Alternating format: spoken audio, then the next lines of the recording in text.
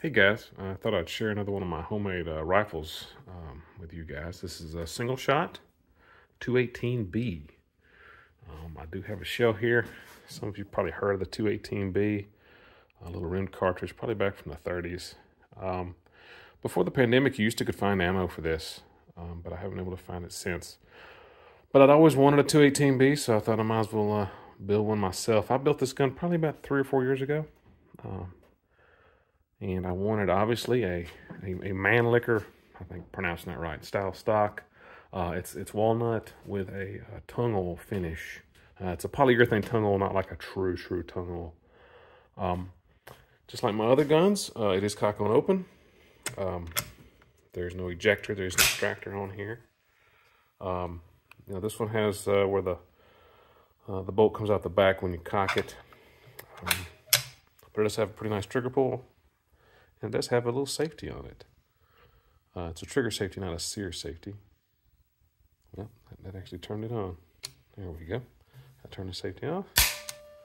But yeah, uh, pretty neat action. Um, the barrel is a Green Mountain barrel.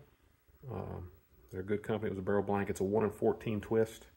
Of course, I crowned it. You know, turned the diameter one, put threads on it. And of course, chambered it. Um, of course, rim cartridges are a little different, you know, how, how they had space and how you extract them. So I'll take it apart, get a better look in there. Um, but yeah, but uh, so I, the parts I made, I, I made the receiver, the bowl, the bowl handle, all the firing pin mechanisms, the trigger group, it's actually made of aluminum, all the trigger components, the stock. Uh, it, it, I did not obviously make the Leupold uh, 9 power scope rings. I um, I guess I modified some scope bases to work with this. I did not make the Harris bipod, but I did um, to the ground to um, fit uh, um, butt pad on there. Um, but anyways, a, I think it's a pretty gun. I just like that, uh, I guess, war club, a gun stock war club look. I don't know. Um, I'm trying to think anything else.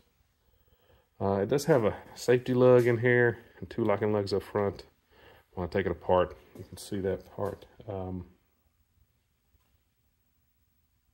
I mean, I've, I've shot this gun several times. The ammo is scarce right now, so I don't shoot it a lot.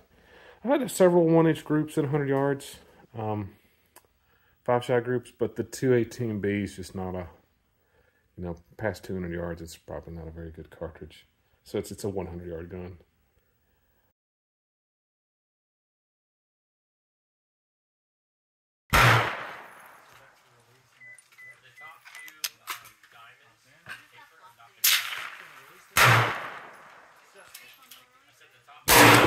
So it probably won't do it on a closed, on an empty.